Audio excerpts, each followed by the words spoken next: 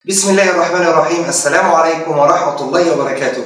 أبنائي وبناتي طلبة وطالبات الصف السادس الابتدائي. معكم مستر حامد البيومي. برحب بكم وبكل مشاهدي ومحبي قنوات السكولة في كل مكان. معانا النهاردة بإذن الله حلقة دسمة جدا. حلقة مين؟ التمارين العامة على الوحدة الأولى. وحدة الأعداد الصحيحة من الكتاب المدرسي. مسألة مسألة. من أول مسألة لآخر مسألة. بقول حلقة دسمة. فيها مجموعة متنوعة ومختلفة من الأسئلة اللي مرت علينا في دروس الوحدة واللي بلغت ست دروس كاملة. عن مين؟ هنلاقي أسئلة على القيمة المطلقة وأسئلة إكمال مهمة. عن العلاقات بين المجموعات صاد الموجبة والسالبة وأعداد العد وصاد الأم ومجموعة الأعداد الطبيعية وكمان أكمل بنفس التسلسل والمقدار الثابت وكمان الترتيب التصاعدي والتنازلي وكمان التعبير الرمزي عن مجموعات معينة بالصفة المميزة وأيضا العمليات الأساسية جمع وطرح وضرب واسمة للأعداد الصحيحة وكمان أسئلة الإكمال بتاع العمليات اللي بتعتمد على دراسة خواص الإبدال والدمج والتوزيع وكمان الضرب المتكرر أسئلته موجودة والأنماط العددية. بقول لك حلقة دسمة أسئلة كتير ومتنوعة وطويلة شوية بس هتفيدك بإذن الله لأن أجزاء كبيرة منها بتيجي في الامتحانات. يلا على طول ما نضيعش وقت ونروح مع بعض لأول سؤال من حلقة التمارين العامة.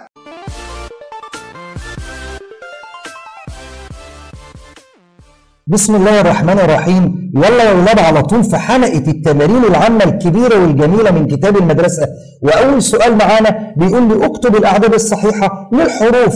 ألف وب وج ودال تعالوا نبحث عنهم. فين الألف أهي؟ مزنوقة بين مين بين الواحد وبين الثلاثة مين الصغير الواحد يبقى هي بعد الواحد. يبقى ألف بتمثل العدد كام؟ بتمثل العدد اثنين. طب ده ألف. تعال نجيب الب فين الب أهي؟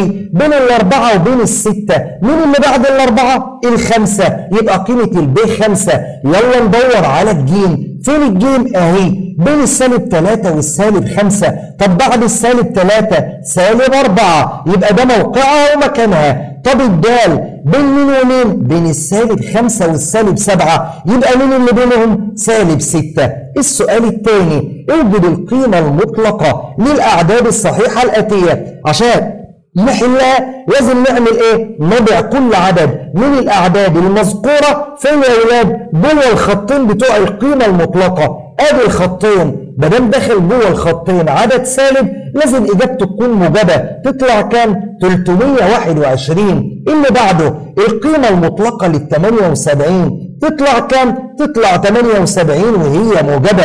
اللي بعده القيمة المطلقة لسالب 56 نحطها جوه القيمة المطلقة وإجابتها تطلع موجبة 56 طب السالب 10 ادي البرواز بتاع السالب 10 إجابتها هتطلع كام؟ هتطلع 10 موجبة طب الصفر الصفر قيمته المطلقة بتطلع برضه صفر زي ما هي القيمة المطلقة لل 21 وهو عدد موجب تطلع موجبة ب 21 وده مفهوم القيمة المطلقة اللي كنا بنقول عليه هي المسافة بين موقع العدد وموقع الصفر على خط الأعداد وهي دائما موجبة السؤال اللي بعده سؤال أكمل مهم جدا.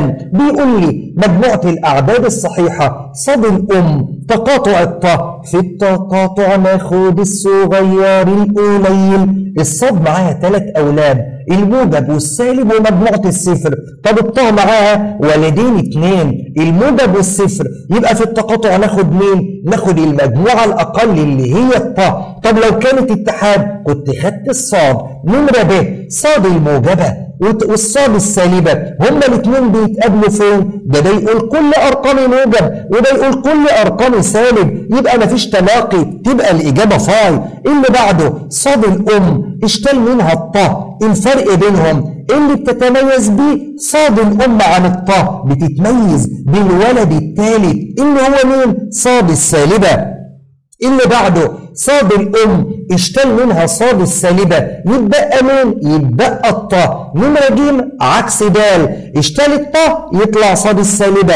اشتل صاد السالبة يتبقى الطاء نيجي النمرة أهي. صاد الموجبة اتحدها مع الصفر. يعني لم الموجب وكمان الصفر. تطلع مين؟ تطلع عين الطاء. نمرة واو قيمة مطلقة وإشارة سالبة برة. نعالج الأول اللي جوه. ده عدد سالب. يبقى إجابته موجب 45 بس السالب دي ما اشتركتش في القيمة. تطلع معانا في الإجابة تبقى سالب 45 نمرة زين. اللي يكمل صاد الموجبة عشان تبقى صاد الأم. إيه معنى السؤال ده؟ صاد الموجبة. فاضل لها إيه؟ عشان تبقى زي صاد الأم. صاد الأم دي معاها ثلاث أولاد موجب وسالب ومجموعة الصفر. طب الموجب أهو يبقى فاضل مين؟ فاضل حاجتين صاد السالبة ومجموعة الصفر. طب نكتبها إزاي؟ صاد السالبة. اتحاد مجموعة الصفر وده من أصعب الأسئلة. اللي بعده مكملة صاد السالبة بالنسبة لصاد. صاد السالبة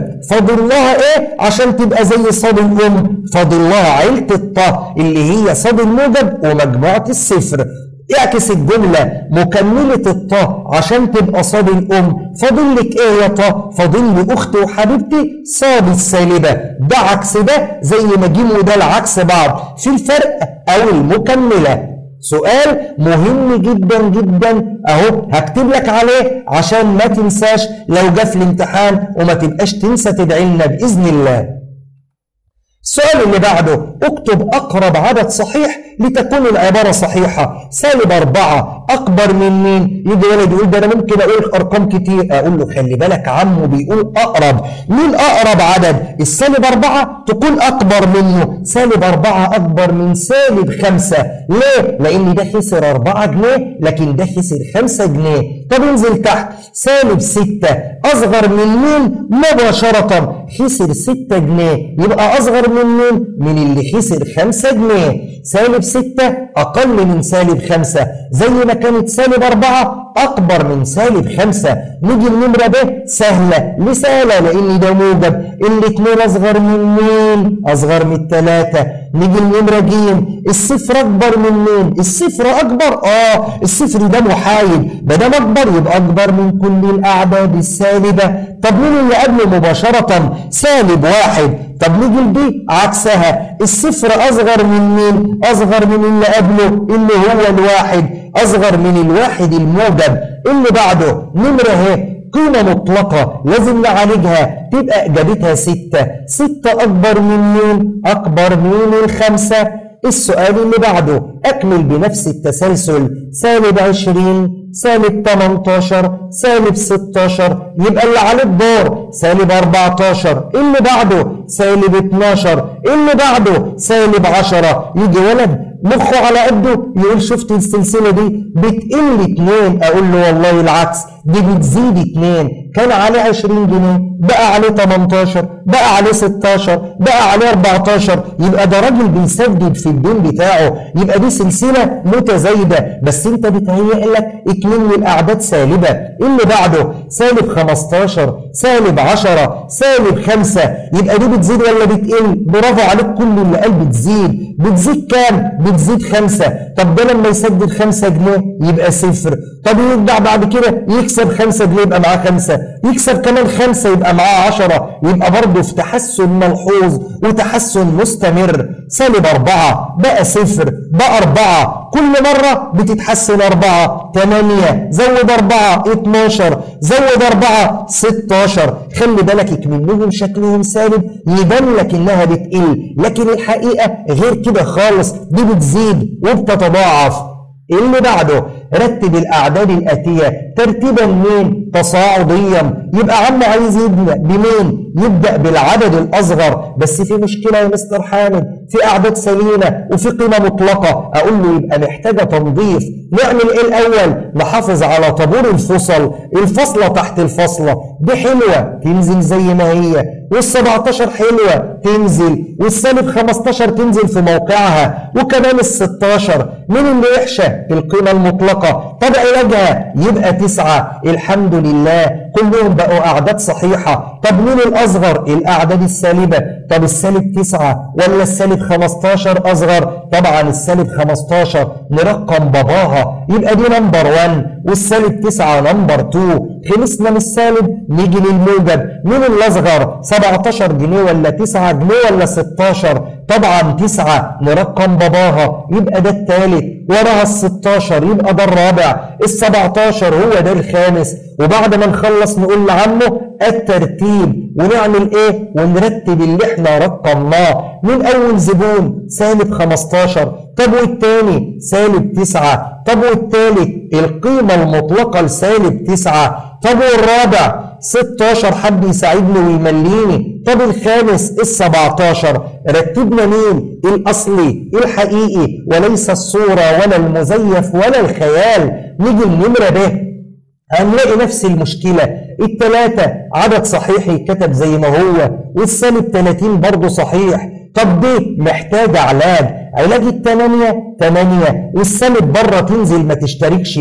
والصفر ينزل وبعدين الحداشر. كلهم بقوا أعداد صحيحة. طب ده ترتيب تصاعدي. مادام تصاعدي يبقى عمو عايزني أبدأ بمين؟ بالأصغر. ندور على الإشارة السالبة. ندور على مين؟ على الإشارة السالبة. مين السالب؟ سالب 30 وكمان سالب 8 طب مين الصغير؟ سالب 30 لأن خسارته كبيرة. طب وبعده؟ السالب 8 نخش في الأعداد العادية ناخد الصفر كمحايد يبقى ده الثالث وبعدين الثلاثة يبقى الرابع وبعدين الحداشر يبقى الخامس. يلا نجيب الترتيب وهنكتب الترتيب. ويلا هو إيه أول واحد؟ أول واحد كانت سالب 30 ننقلها من الاصلي طب واللي بعدها؟ أدي اللي بعدها. ده آخر الموقع الثاني والصفر كان الثالث والثلاثة كانت الرابع. والحداشر كانت الخامس. ده الترتيب التصاعدي بعد ما عالجنا المسألة. السؤال اللي بعده بيقول لي عبر رمزيا بس بطريقة مين؟ الصفة المميزة أول واحدة مجموعة الأعداد الصحيحة السالبة نعمل إيه؟ نفتح قوس مجموعة عدد سالب يبقى نقول له إيه؟ فاكرين طريقة الصفة المميزة؟ س حيث س ماله. ينتمي لمين ينتمي لصاد لأنه قال إيه؟ عدد صحيح. طب وبعدين؟ الصحيح ده ماله؟ هو بيقول لي عدد صحيح إيه؟ سالب. ما دام سالب يعني قيمته أقل من مين أقل من الصفر. والسين أصغر من الصفر. يبقى نقولها تاني. س حيث س تنتمي لصاد فاصلة والسين أصغر من الصفر. لأن كل الأعداد السالبة قيمتها أقل من الصفر. اللي بعدها مجموعة الأعداد الصحيحة الفردية. نقول له إيه؟ س حيث س ينتمي لصاد ليه ينتمي لصاد هو اللي قال. قال إيه؟ قال إنه عدد صحيح فردي. ونعمل إيه؟ نعمل فصلة. ونعبر له عن المعنى اللي قاله. مش هو بيقول فردي؟ أيوه. يبقى نقول له س عدد صحيح فردي. إحنا كده عبرنا عن المعنى بطريقة الصفة المميزة اللي بعده مجموعة الأعداد الصحيحة مالها الزوجية السالبة. الزوجية السالبة نقول له إيه؟ س حيث س مالها تنتمي لصاد طب السين ده بيعبر إيه؟ بيعبر عن إنه السين عدد صحيح زوجي سالب أو عدد زوجي سالب. ونقفل قوس المجموعة. اللي بعده مجموعة الأعداد الصحيحة المحصورة بين سالب 3 و 13 يلا نعبر بنفس المعنى اللي تعودنا عليه. س حيث س ينتمي لصاد طب والسين دي مالها محصورة بين دي ودي يبقى نكتبها إزاي؟ على هيئة متباينة س أكبر من السالب 3 ولكن لها أقل من ال 13 س أكبر من السالب 3 وأقل من ال 13 كل التعبيرات اللي مكتوبة قدامكم دول يا أولاد تعبيرات بطريقة الإيه؟ الصفة المميزة اللي خدناها في سنة خمسة في وحدة المجموعات.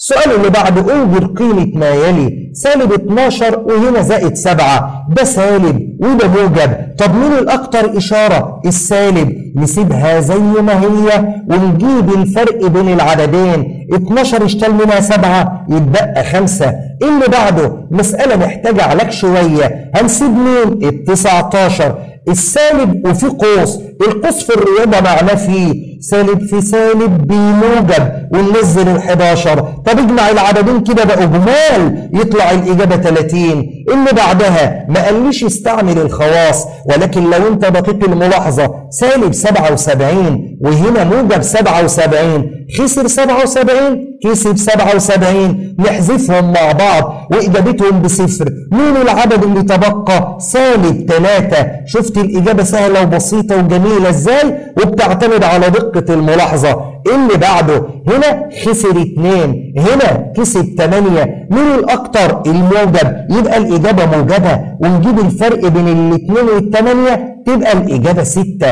اللي بعده نمرة ب خسر خمسة. وكسب خمسة تبقى الإجابة صفر. لأن عدده معكوسه الجمعي. عبر بلغة الفلوس تبقى أنت الكسبان بإذن الله. دي نقولها إزاي بلغة الفلوس؟ نقول خسر خمسة. طب ودي؟ خسر اتنين. يعني الاتنين من نوع واحد. ننزل الخسارة اللي هي الإشارة السالبة ونجمع الخسرتين تبقوا سبعة. يجي ولد يقول جمعت ليه؟ أقول له لأنه خسر مرتين. خلي بالك سؤال مهم وجميل وبسيط وعايزك تتدرب على حله. اللي بعده جايب لي مسألة أقدر أحلها بالنظر. إزاي بالنظر؟ هنا 116 بالموجب وهنا 116 بالسالب. دي تتحذف مع دي تبقى الإجابة 190 صحيح. قال أنا مش عايز الإجابة أنا عايزك تنفذ لي الخطوات. مين اللي كتب ال 116 وهنا ال 190 طب وبعدين نعمل إيه؟ وبعدين نقول مين اللي ناقص ومين اللي ما اتكتبش؟ السالب 116 طب هنا عملنا عملية إيه؟ بدلنا المكانين دول مع بعض.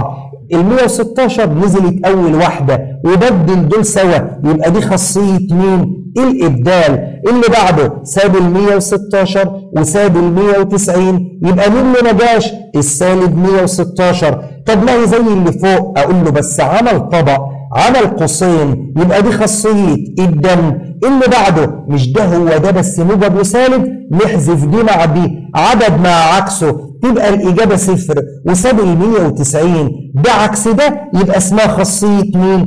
خاصية المعكوس الجمعي. هنجمع الاثنين مع بعض. صفر زائد 190 190 أصبح الصفر غير مؤثر في الإجابة. بدل جمع مع صفر يبقى دي خاصية المحايد الجمعي.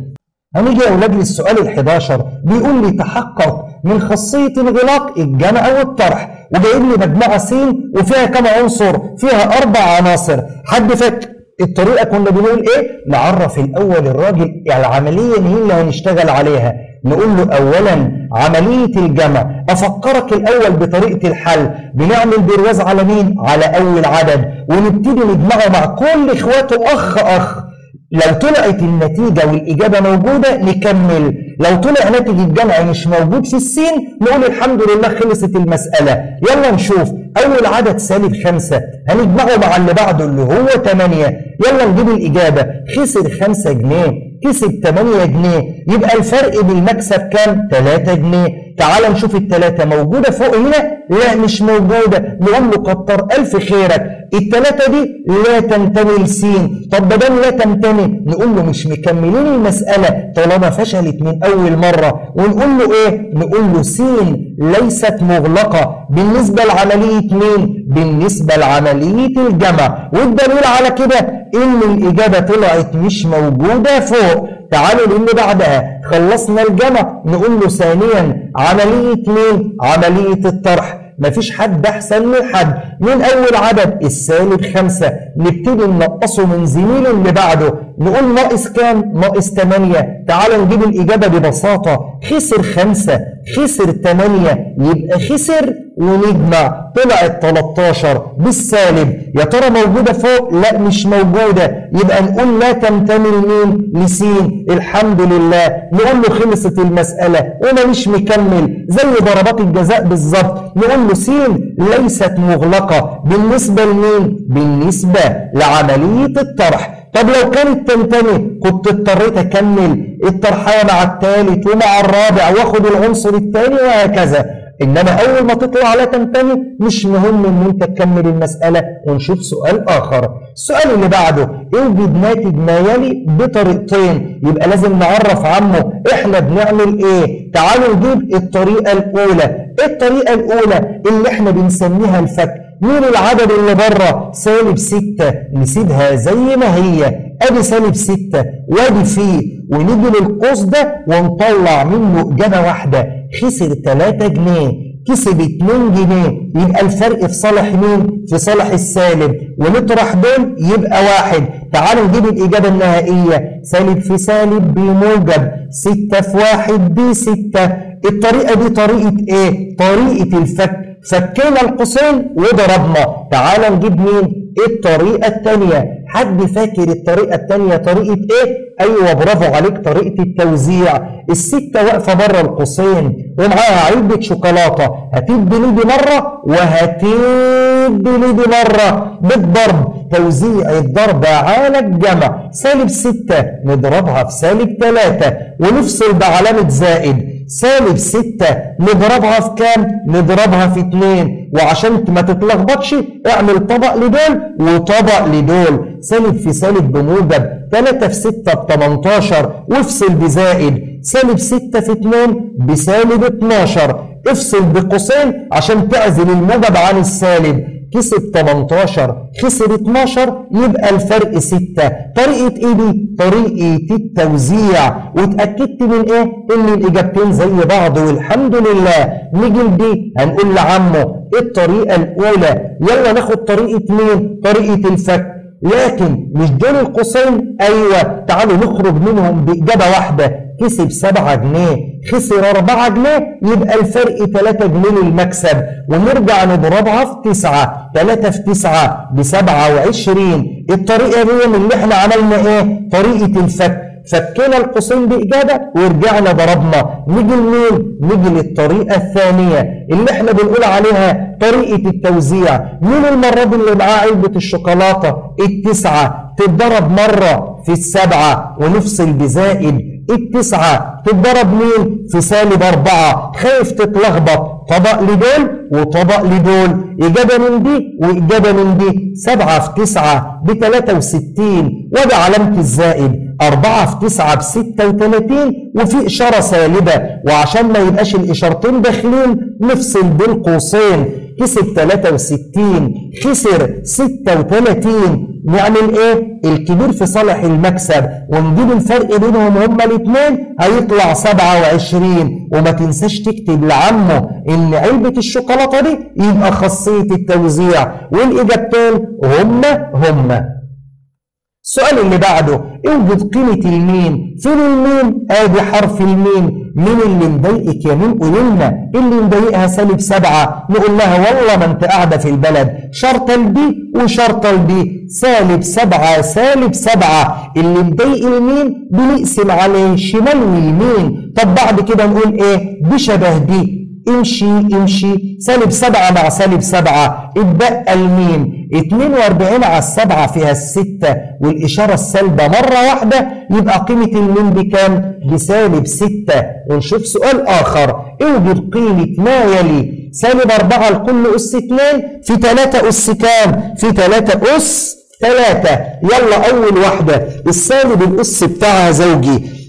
هتروح الإشارة السالبة. سالب في سالب بموجب. 4 أس 2 يعني 4 في 4 ب 16 طب 3 أس 3 ب 27 نضرب العددين مع بعض هتطلع لي الإجابة 432 نمرة ب سالب 1 أس 30 السالب الأس زوجي تختفي والواحد إن شاء الله يكون مليون مرة بواحد وده علامة الزائد. السالب فردي تبقى معانا وواحد أس أي حاجة بواحد ونعزل الإشارتين عن بعض بقوسين. يلا. كسب جنيه خسر جنيه تبقى الإجابة صفر. نمرة ج السالب الأس فردي. تبقى معانا خمسة أس كام؟ أس تلاتة. تبقى الإجابة 125 طب هنضرب في مين؟ السالب الأس فردي. سالب واحد أس 17 السالب فردي نزلت السالب والواحد أي عدد من المرات؟ بواحد.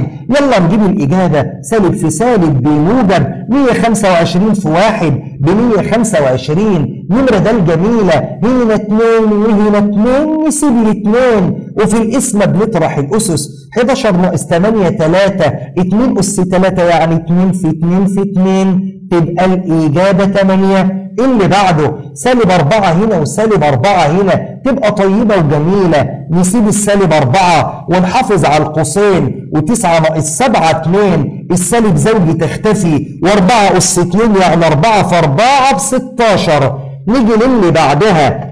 هنيجي يا ولادنا نمرة واو. لاحظت إيه؟ هنا سالب 3 وهنا 3 يجي ولد يقول يا خسارة كنت أتمنى دي 3 أقول له طب ما تيجي نعمل اللي نفسنا فيه وبعد كده نتناقش في الإشارة السالبة. هنعدل دي 3 أس 7 يبقى أنا ضيعت الإشارة السالبة وضيعت كمان الأقواس. ونعمل على على مين؟ 3 أس 4 طب أنا كده نظفت التنظيف اللي أنا اللي على هوايا. تعالى بقى نشوف الإشارة السالبة. الأس بتاعها ماله؟ فردي. تبقى معانا في الإجابة ولا مش معانا؟ أيوه معانا. نقوم نعمل إيه؟ نعمل قوس كده ونعزل الإشارة السالبة نخليها بره المسألة. ونحل عادي خالص. ادي السالب وادي القوسين هنا ثلاثة وهنا ثلاثة نسيب الثلاثة ونطرح دول عشان على سبعة ناقص أربعة ثلاثة طب عايز الإجابة النهائية السالب دي بره المسألة تنزل وما تشتركش في حاجة. طب 3 أس 3 ب 27 يبقى الإجابة النهائية 27 عالجنا ونضفنا عشان نسهل على نفسنا طريقة الحل. المسألة اللي بعدها جايب لي جدول ما بين النمط العددي وأنا اوصفه أو وصف النمط موجود وأنا أحط نمط من عندي. أول واحدة 75 70 65 60 55 يبقى هنا كام؟ 50 طب السلسلة دي بتقل ولا بتزيد؟ بتقل 5 يبقى نقول له إيه؟ نقول له إيه؟ يلا في وصف النمط.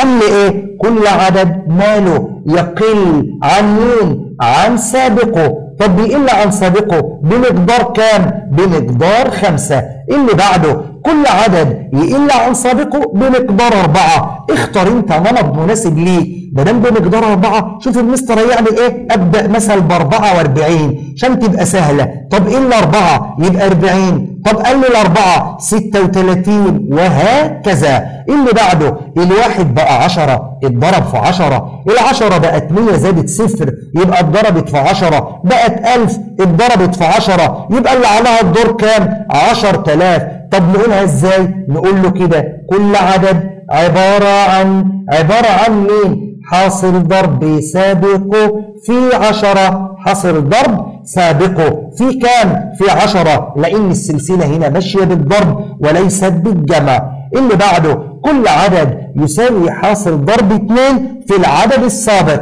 مثلا ولد بدأ بخمسة نضرب في 2 يبقى 10 اضرب في 2 يبقى 20 اضرب في 2 ب 40 وهكذا. حاصل ضرب سابقه في 2 اللي بعده مسألتين على الضرب المتكرر. يلا نشوف المسألة في الأول. طيبة ولا شريرة؟ سالب خمسة سالب خمسة سالب خمسة.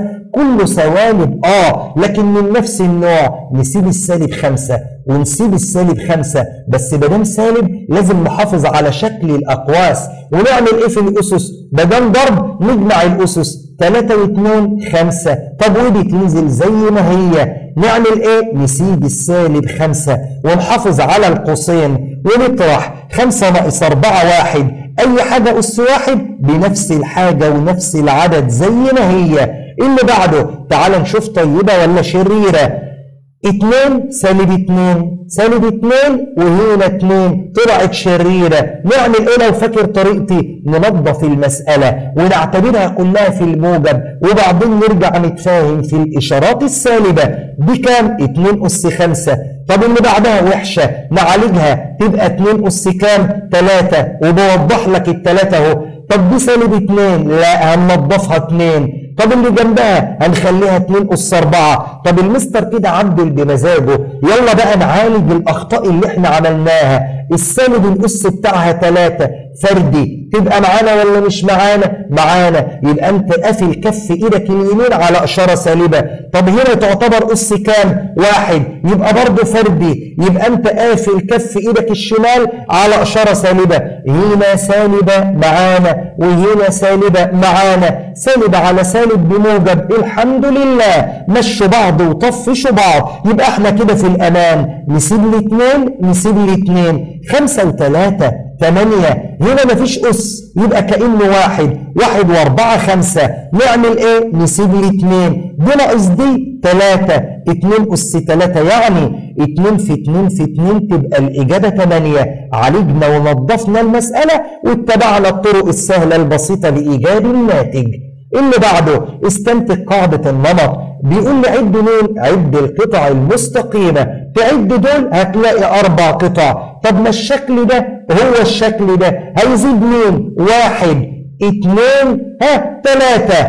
يبقى كم قطعة زادت؟ ثلاث قطع. اوعى تقول أربعة وأربعة ثمانية ليه؟ لأن الخط ده عامل مشترك. اتعد مع المستطيل الأول ما نعدوش مع المستطيل الثاني امشي معايا كده أربعة. زادت دي ودي ودي يبقوا سبعة. طب ما الشكل ده؟ والشكل ده هو الشكل القديم بسبعة. يزيد مين؟ يزيد دي. ودي ودي 3 يبقى 10 أقول له أوتوماتيك يبقى ده يزيد 3 يبقى 13 طب تعالى نعملهم نمط. 4 و7 وبعدين 10 وبعدين 13 قال لي طب هات القاعدة وأوصف النمط. أقول له ده كل مرة بنزود 3 يبقى نقول إيه؟ كل عدد يزيد عن مين؟ يزيد عن سابقه. بمقدار كام يا شطار؟ بمقدار ثلاثة. تمارين مجهدة ومتعبة. وما تنساناش في الدعاء ولسه لنا بعض الأسئلة. يدخر شريف 51 جنيه كل شهر. طب كم شهر عشان يحوش المبلغ ده؟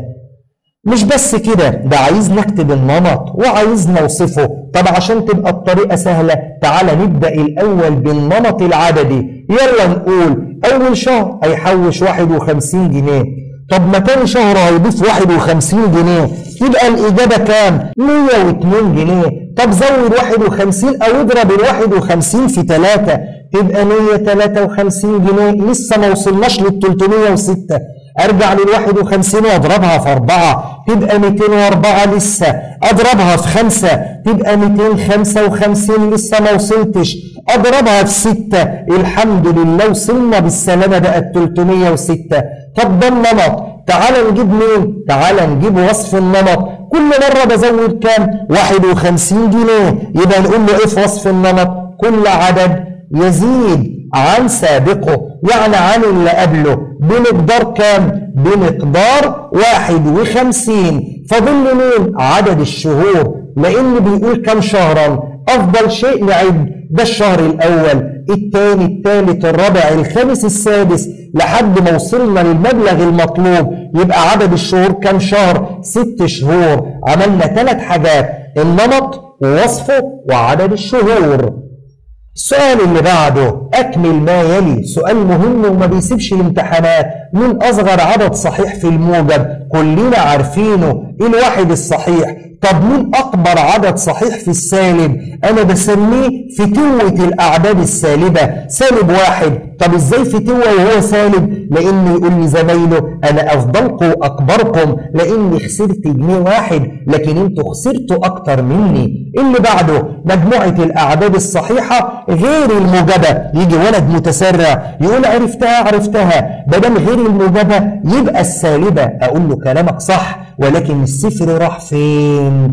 يعني إيه يا مستر أقول له يعني السالب معانا آه والصفر معانا آه يبقوا كام حاجة؟ يبقوا حاجتين غير الموجبة يبقى يقصد بيهم مين؟ يقصد بيهم الصفر ويقصد بيهم السالبة. طب تتكتب إزاي؟ تتكتب إزاي؟ هقول لك تتكتب إزاي. صاد السالبة اتحاد مجموعة الصفر طب كده كشكل. طب لو أنا عايزها كأرقام نقول له صفر وبعدين سالب واحد وسالب اتنين وهكذا ونقفل قوس المجموعة. كده كتبتها له رمزيا وكده كتبتها له بالعناصر والأرقام. نيجي النمرة جيم مجموعة الأعداد الصحيحة غير السالبة. الولد المتسرع يقول بس غير السالبة تبقى الموجبة. أقول له الصفر راح فين؟ يبقى إجابتك مين؟ الموجب والصفر طب لو دمجناهم يبقى اسمهم إيه؟ برافو عليك كل اللي قال. الطا كده بالرمز. طب بالأرقام. صفر واحد. اتنين. تلاتة. وهكذا. يبقى كتبنا له الطا كرمز وكتبنا له الطا كمجموعة. حذر فزر مين اللي ليس موجبا وليس سالبا. أقول له العنصر المحايد الجمع الصفر. تيجي في اللي بعدها. مين العنصر المحايد الجمعي لا يؤثر في الجمع. أقول له الصفر. طب مين العنصر المحايد الضربي لا يؤثر في الضرب. الواحد الصفر محايد جمعي والواحد محايد ضربي شريحة في منتهى الأهمية. وما تنسناش لو جات لك حاجة فيهم في الامتحان ما تنسناش في الدعاء. السؤال اللي بعده هو السؤال الأخير في حلقتنا في منه ثلاث مسائل. بيقول لي استخدم الخواص بالتسهيل إيجاد العملية سالب 74 زائد 65 زائد 64 زائد سالب 65 يجي ولد يقول لك بقى بالآلة الحاسبة أقول له مش هتاخد ولا درجة. ده عمه عايز الخواص. اعتمد على دقة الملاحظة والتركيز. لاحظت حاجة؟ العدد ده هو ده. بس واحد موجب وواحد سالب. العدد ده هو ده. بس واحد موجب وواحد سالب. نفسك في إيه؟ يقول لي كان نفسي ده يجي جنب ده ونفسي ده يجي جنب ده. أقول له طب ما في إيدينا. تعالى خلي مستر حامد يعلمك طريقة جميلة. ننزل الأولاني زي ما هو ونروح بعيد وننزل الأخير زي ما هو. عملت حاجة؟ لأ. سبت الأول والأخير. ونيجي على الوسطانيين ونعمل لهم عملية تبديل. نجيب هنا زائد 74 ونجيب هنا زائد 65 طب اللي أنا عملته ده اسمه إيه؟ اسمه خاصية الإبدال. طب ده فادنا في إيه؟ جاب الاثنين اللي شبه بعض عدد ومعكوسه وعدد ومعكوسه جنب بعض. طب نعمل إيه في الخطوة اللي بعدها؟ ننقل المسألة زي ما هي. نعمل copy نعمل نسخ للمسألة. شوف المستر بيعمل إيه؟ بينقلها نقل حرفي. طب وبعدين؟ نعمل أول اتنين دول في طبق. ونعمل اخر اتنين دول في طبق ونقول لعمه دي خاصيه الدمج طب عايز الإجابة؟ خسر 74 كسب 74 تبقى إجابتهم إيه؟ صفر. وهنا كسب 65 وخسر زيهم تبقى الإجابة مين؟ صفر. صفر وصفر تطلع الإجابة كام؟ صفر. طب الخاصية بتاع العدد ومعكوسه اسمها خطوة إيه؟ اسمها خطوة المعكوس الجمعي. طب والنتيجة النهائية اللي هتطلع لي صفر دي خاصية مين؟ خاصية المحايد الجمعي. عشان جمع مع آه صفر مع صفر بدل جمع مع صفر يبقى خاصية المحايد الجمعي. ونقدر نقول كمان الانغلاق. عشان صحيح وصحيح يدي كمان عدد صحيح. السؤال اللي بعده بيقول لي استخدم الخواص برضه لتسهيل الناتج. حد لاحظ حاجة؟ يجي يقول نضرب الاثنين دول في بعض ونضرب دول في بعض ونجمع الإجابتين. أقول له عمو مش عايز كده. عمو عايزك تفهم وتكون مركز. حد لاحظ حاجة؟ أيوة لاحظنا. العدد ده هو العدد ده. بس مكرر مرتين. يبقى في توزيع. ده مرة إدى شوكولاتاية لل 85 ومرة ال 63 إدت شوكولاتاية لل 15 يبقى دي خاصية التوزيع بس معكوسة. طب مين اللي بيوزع؟ ال 63 نشطب عليه مرتين وناخده مشترك مرة واحدة ونعمل علامة فيه ونفتح طبق كبير وناخد الفضل والبواقي. باقي مين؟ 85 زائد مين؟ 15 دي خاصية مين؟ التوزيع. بس معكوسة. طب بعد كده عايز الإجابة بسهولة. نسيب ال 63 ونعمل علامة فيه ونجمع العددين مع بعض. دي زائد دي تطلع 100 طب عايز النتيجة النهائية 63 في 1 ب 63 ونسيب الصفرين. تبقى الإجابة كام؟ تبقى الإجابة 6300 كده الإجابة النهائية. واستعملنا خاصية التوزيع وما أجهدناش نفسنا. لا في ضرب ولا ضرب ولا جمع. المسألة الأخيرة معانا. حد لاحظ حاجة؟ أيوة لاحظنا ده نفس المعنى. مين؟ 54 أهي وهي.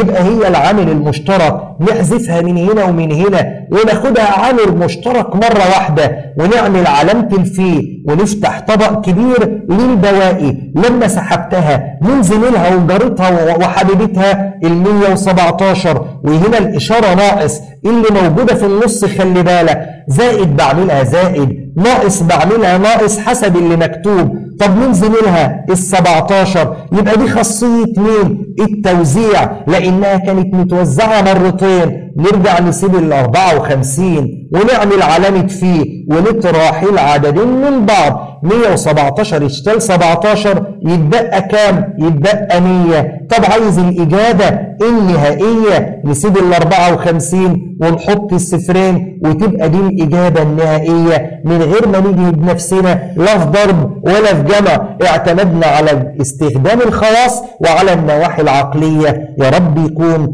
حلقة دسمة وجميلة واستفدت فيها وتعبنا معاك فيها. وادعي لنا بإذن الله. وانت بتحل وانت بتتفرج على الحلقة.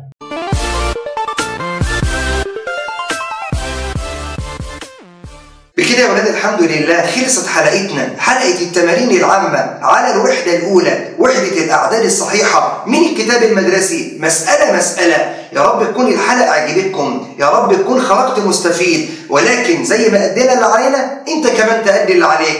تمسك كراسة فاضية وتبتدي تحل التمارين العامة. مسألة مسألة. تتفرج على حلقة تاني وتراجع حلولك. ولو عجبتك الحلقة اوعى تتأخر واوعى توقفها عندك. شير في الخير عشان الكل يستفيد. ودايما للسكولة subscribe وكمان like و share و share في الخير. ومع مستر حامد البيومي أشوفكم على خير.